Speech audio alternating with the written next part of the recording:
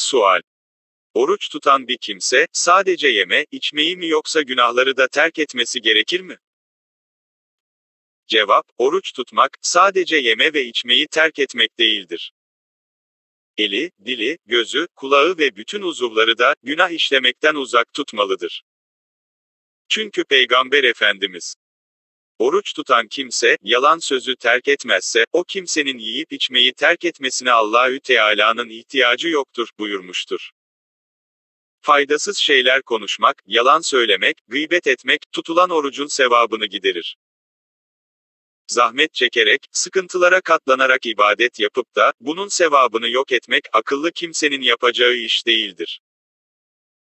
Ancak oruç tutarken günah işleyenler, benim orucumun kıymeti yok diyerek orucu terk etmemeli, oruca devam etmeli, Allahü Teala'ya yalvararak af dilemeli ve işledikleri günahlardan yüz çevirmelidirler. İmam-ı Rabbani Hazretleri buyuruyor ki, Allahü Teala, lütfederek, ihsan ederek, nefis iman edip İslamiyete uymakla şereflenince, İslam'ı hakikiyi kavuşulur ve imanın hakikati hasıl olur. Bundan sonra yapılacak her iş, İslamiyet'in hakikati olur. Namaz kılınca, namazın hakikati kılınmış olur. Oruç tutunca, orucun hakikati tutulmuş olur.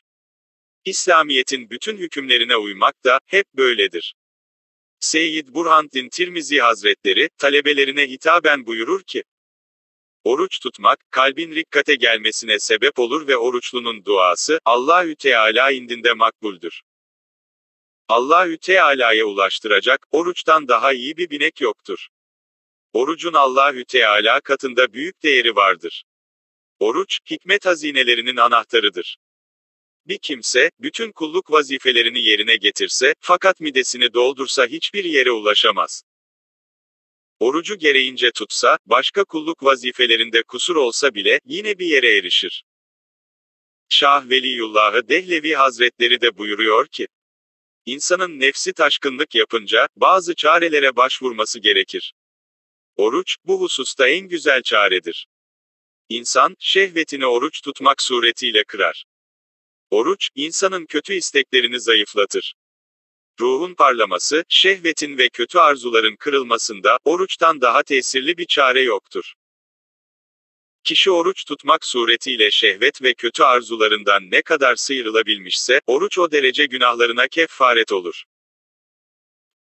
29 Nisan 2020 Türkiye Gazetesi, bizim sayfa, Osman Ünlü